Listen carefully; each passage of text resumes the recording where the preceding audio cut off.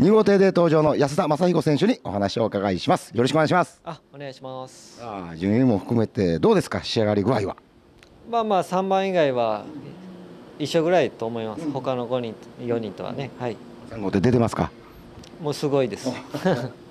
さあじゃあどうしましょうか？今日時間たっぷりあるんですけども上積み狙って作業の方は。まあプロペラの回転合わすだけですね。はい。プロペラ中心と、そうですね。はいえースタートなんですけどね一歩持ちということであまり無理できないと思うんですけどもどうでしょうか今節決まり具合は、まあ自分なりには言ってるつもりなんですけどはい。まあ、優勝戦も？優勝戦はねはい。まあうん どうですかね。すごいのがいるんで。ね。はい。まあ自分なりに精,、はい。精一杯頑張ります、えーコースのね2号艇なんですけどもまあここは外に3号艇になるんでしょうかね。枠なりでいけば。そうですね、まあ一応2コースから行こうと思ってます。はい。それでね最後ね一言意気込みよろしくお願いします。はい、優勝目指して一生懸命頑張ります。